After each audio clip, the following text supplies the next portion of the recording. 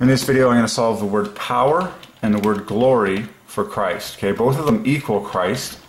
Um, and, and then I just want to do the letter for letter thing. Okay, it's very glaring. Here's your 2 plus 2s, like the 2 plus 2s in Christ. Uh, what's really special uh, about this is that these 2 plus 2s are very famous, the word we, which equal uh, the famous TH in Christ. God does this all the time, a WE to point to the TH either in Christ or in Father. Um, but it's very glaring here. Okay, remember these words equal the same thing.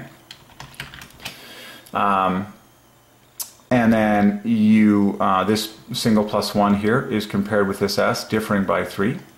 The R equals the R. Okay, and uh, then obviously the um, the I and the C, the two that divide by three, differ by different from the O by three in the other direction. So the PO equals CIS. There you go. The word power perfectly points to Christ. Um, and there's the love at the front of power, just like love is at the center of Christ. You can point that out, and then this T and this R differ by two, and this C and this R differ by two in the opposite direction.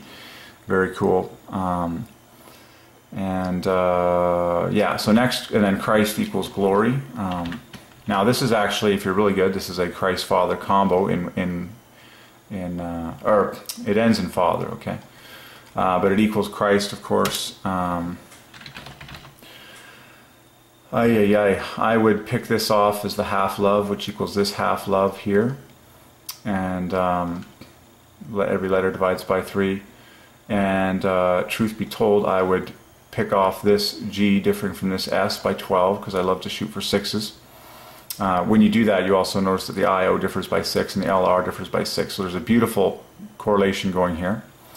And then, um, well, the rest obviously equals uh, or excuse me, um, the yeah, you must put the H and the T together to make 28. That differs from, and then add the C to that team. Even though you got 31 to differ from this by six, and then this is triple six.